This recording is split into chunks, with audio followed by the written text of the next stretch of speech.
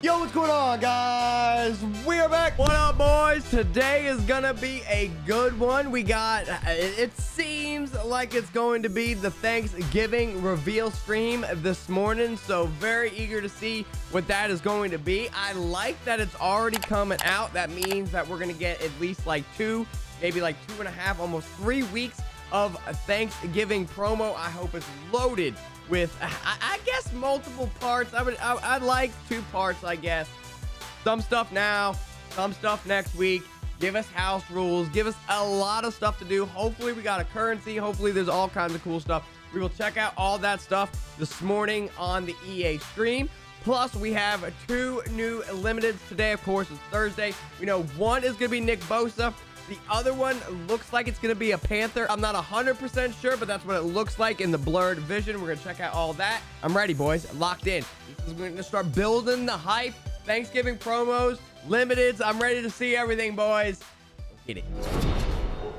New limiteds are live, and Robbie Anderson looks like he is a fire. 94 overall with 94 speed. Before you even boost him, power him up, or do anything with this card. If you have a full 50-50 Panthers theme team and power him up, he will be 99 speed for this Robbie Anderson. There's also going to be a limited Nick Bosa that we are going to try and pull today also. Two good limiteds in packs. But the big thing that everyone is going to be talking about today is going to be the Harvest promo and we are live on Twitch right now, and I want my chat to come alive, please. Everyone in the chat, uh, there's like 700 people in here right now. If you guys could come alive for me and help me out here with the YouTube video. For everyone watching this on YouTube, can you please type in your dubs or L's into the chat? Your first initial impression into the Harvest promo. What do you guys think? Dub or L, please let me know your initial thoughts of everything. As we were going through it, it definitely seemed like there were a lot of L's going through the promo. I would probably say as part one of this promo, it's definitely not as hype as like part two or part, I, I think part two of Most Feared, which was super crazy. Randy Moss, Lawrence Taylor, all these good cards that we got. I'm hoping that part two is obviously a little bit more name hype than part one of the harvest promo but there seems to be a lot of good stuff. Good cards. They have the thanksgiving day cards which i like that give you those good cards that could get boosted. We'll show you those in a second. They had some 92 overalls. They had some 94 overalls. There's house rules. There's free cards. There's all kinds of different stuff. So i feel like the base of it is good the names and the list of the cards that we that they revealed already are just kind of lackluster. Kirk Cousins and some of these other things I'm going to show you here in a second. Just not the greatest names, which is probably kind of bringing the L's in a little bit more just because no big, big name. Like, th th th there was no marquee Hall of Famer or something like that that people want. No Deion Sanders or anything like that yet. Doesn't mean that he's not coming for a part two. As always, it looks like uh, Muttonality tweeted out everything here. So let's go to his uh, media. Um, it does look like the high card of part one of the promo is going to be a 94 overall Chase Young. This card does look good. Not a huge, huge, huge, big, like Madden name, but I still feel like Chase Young is up there in the A list of players and names that people would want. Probably going to be a very, very good card. I feel like this 94 is a dub there. The next thing are going to be 292. These are going to be Turkey Day cards. Really big dub about the Turkey Day cards this year is you have two ways to earn them as far as I understood. 100 stars in solos will get you the free NCAT or NAT 92 overall Ndamukong Suh, which gets any NFC team. Any NFC team, not just the Bucs or the Lions, right? But you would be able to put him on any NFC team. So I can put him in my Giants theme team if I wanted to. AFC team Turkey Bowl card, once again, either with 100 stars and solos or 24 house rules win, 25 house rules wins. We'll get you the Emmanuel Sanders, which is the second of the two turkey bowl or turkey day cards or whatever you want to call these guys. Emmanuel Sanders will get all AFC teams on there, okay? You guys getting Emmanuel Sanders or Ndamukong Suh? Which one you guys going with out of those two? Let me know. Other 92s, there was a good amount of 92. Emmanuel Ogbah, nailed it. Uh, is going to be one of them. The big one that most people are going to be very iffy about right here is going to be the field general quarterback, Kirk Cousins, who will get hot route master before you even power him up. So, I don't know. Not going to get Gunslinger along with that with only the 90 throw power. But it's going to be very, very interesting to see how he throws, what his animation's like, and how he plays. Kirk Cousins definitely could be viable in some theme teams. We're going to have to see how he plays. We got a Kenny Moore at a 92. We got a Frank Ragnow at a 92. Za'Darius Smith at a 92 with 84 speed. Allen Robinson with 89 speed, which are just going to be your basic 92s that you would need to put into your champion or master set to get the Chase Young. We have not seen any sets or anything like that yet. Turkey Day cards. So these are actually the Thanksgiving Day games that are really being played IRL in the NFL. The last few years, I think almost for a while, we've been getting these type of cards. Basically where there are one set of overalls and then they get a plus one to everything based on how many objectives they complete. You have the ability of getting plus two if they complete both objectives that it says on the card on Thanksgiving Day while they play that day.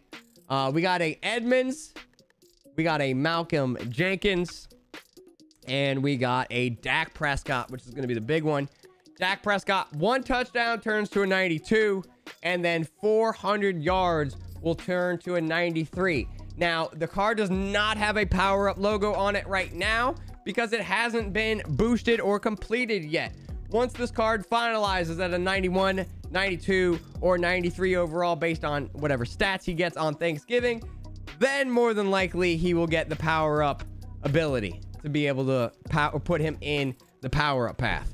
You won't be able to do that until after Thanksgiving and then after they set the card. Okay. There were three more of those Thanksgiving cards that you can get. Hunter Renfrow is another 91 with a possible plus two, and he needs 50 receiving yards and two touchdowns. TJ Hockenson needs three catches, three catches, uh, three catch three passes. I guess there's three catches and catch two touchdowns to get another one. Jeez, seems excessive. And Eddie Jackson would be the fifth one that we have here too. Bears allow less than 350 yards and then get an interception.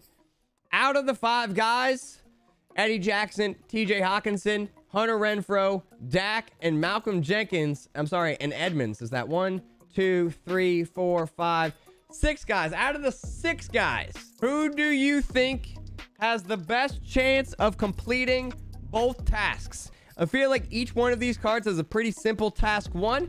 Task two is going to be what's the harder one. Who do you think has the best chance of completing both tasks? Let me know. The rest of the Thanksgiving promo stuff is basically just going to be the overall, the lower overalls for 90s. Nothing crazy. Wentworth, DJ Chark, Young Ho, and Quincy Williams. Uh, then they go down to some 88s and then just some lower overalls. Also, once again, this is part one. We will see part two more than likely next Friday. All this stuff will be live tomorrow. They haven't said anything about limiteds. More than likely, there will still be limiteds. They didn't say anything else about solos or um, I didn't see anything about a uh, currency or any of that kind of stuff. They did mention house rules that's about it. So we'll see what else is coming tomorrow once everything is live. Now, this is always the big thing. There's two good limiteds in packs right now. One of them is basically the fastest card in the game if you have a Panthers theme team with a 99 speed Robbie Anderson. But the problem is we're getting the most feared promo tomorrow with more limiteds dropping tomorrow.